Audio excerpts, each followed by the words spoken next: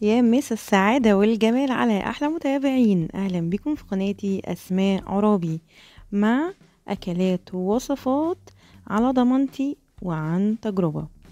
أكلة النهاردة حلوة وسهلة جدا ومش مكلفة خالص وفي نفس الوقت مغذية ومفيدة.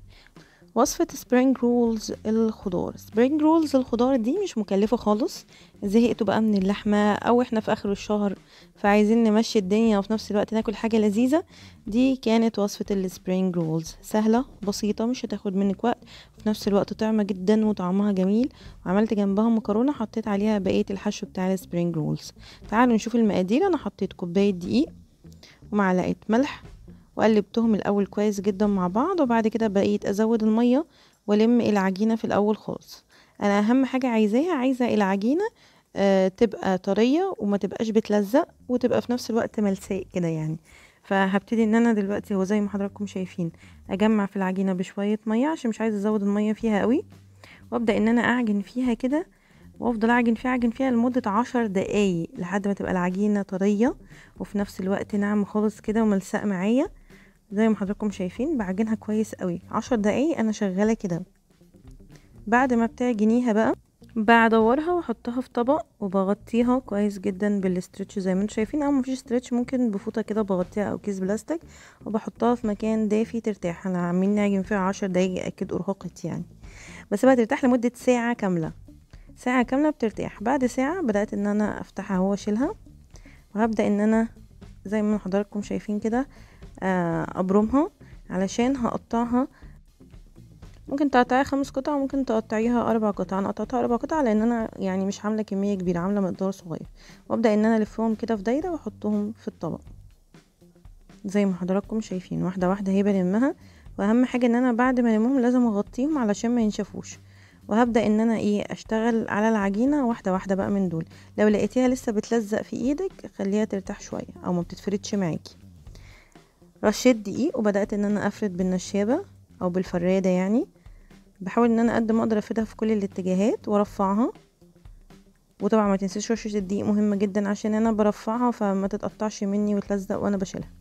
هعمل الحركة دي مع الأربع قطع اللي أنا عملتهم كور هبدأ إن أنا أحطهم كده في النشابة وأفردهم من كل الاتجاهات قد ما أقدر بحيث إن هي يعني ممكن تعمليها على شكل دايرة ممكن تعمليها مربع زي ما انت عايزة يعني.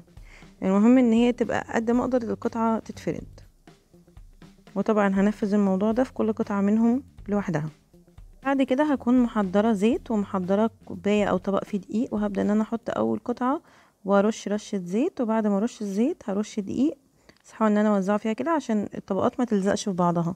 ورشتها ورشة الدقيق اهي وزعتها بإيدي وهبدأ أحط كل طبقة فوق التانية. بعد ما اخلص حط الطبقات همسك بقى النشابة وهبدأ إن أنا بس طبعا أنا بحطهم بظبطهم إن هم يبقوا إيه يعني زي بعض كل طبقة في نفس حجم التانية وفي نفس السوى التانية يعني. ابدأ إن أنا أفردها كده بالنشابة. أنا بحاول إن أنا أخليها شكل مستطيل شوية. أفردهم بقى كل الطبقات بعد ما عملتهم فوق بعض بفردها تاني بالنشابة زي ما حضراتكم شايفين. أي صينية صاج عندي وأحطها على النار وأوطي النار خالص وأحط عليها العجينة وهقلبها من الناحيتين لحد ما تاخد شايفين اللون ده اللي هو تحس اللون إيه يعني عامل زي لون الزبدة كده شوية. هو ده. فأنا قطعت الأطراف الزيادة وبعد كده أنا هعمل بيها spring rolls فقطعتها بالشكل ده. واللي باقي قطعته عشان أعمل بيه سمبوسك يعني هي تنفع برضو عجينة سمبوسك. بصوا جميلة إزاي. نيجي بقى للحشوة. الحشوة أنا قطعت شرائح رفيعة خالص كوسة وجزر بصل وفلفل والكرومب اللي هو الكابوتش عارفين اللي هو الكرومب الكابوتش ده اللي بيتعمل بيه الكولوسلو قطعت برضو شرايح صغيرة خالص وعايزة نص ليمونة بس من حضرتك. هاجي على النار هحط آه زبدة أو سمنة وزيت شوية صغيرين هقلل بصلة أو ما تبتدي البصلة إيه تدبل معايا يعني مش عايزاها تاخد لون تدبل بس شوية. هبدأ أنزل بالمكونات بتاعتي بالترتيب بتاعها. بعد ما حطيت البصلة هبتدي أنزل بال آه الكرومب الكابوتشي اللي أنا كنت مقطعاه وبدأت برضو أقلب. بعد الكرومب هبتدي أنزل بالحاجة اللي بعد كده بتاخد سوا شوية اللي هي الإيه؟ برافو الجزر. نزلت بالجزر. أنا برضو مش عايزة المكونات تتهري قوي أنا عايزاها تبقى لذيذة كده معايا جوسي برضو. كل ده وأنا بقلب على النار. بعد كده هحط بقى إيه؟ يعني التوابل بقى بتاعتي رشة ملح حلوة كده. وبعد الملح هحط حبة سكر كده في إيدي طبعا وفلفل أسود.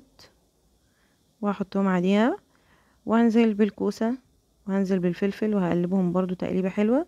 هحط نقطة خل وه- وهحط soya sauce. لو عندك soya sauce طبعا هو يفضل ال soya sauce هو اللي بيديها طعم. مش غالي يعني هتلاقيه في. في السوبر ماركت يعني.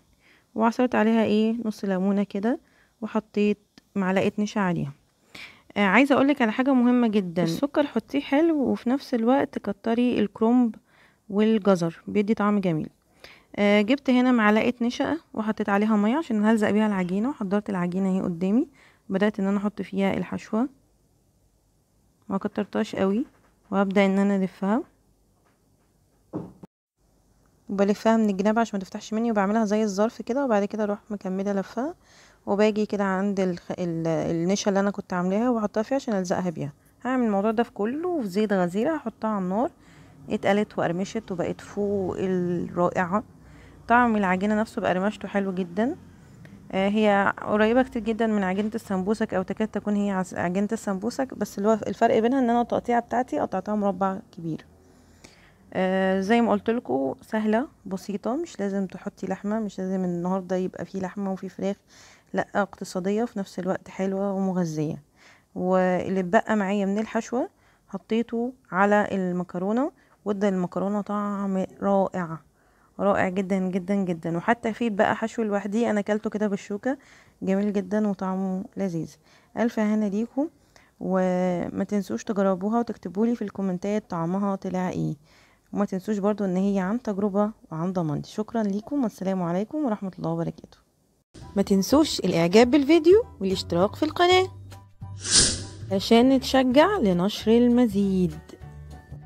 آه استنوا اوعوا تنسوا تفعلوا الجرس.